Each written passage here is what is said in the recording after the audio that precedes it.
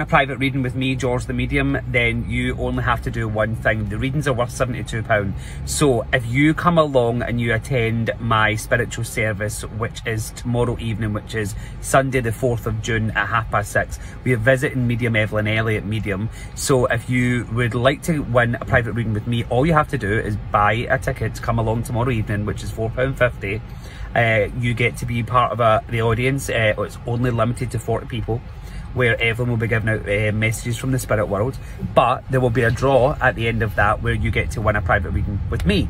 So technically £4.50 win you a reading worth 72 quid.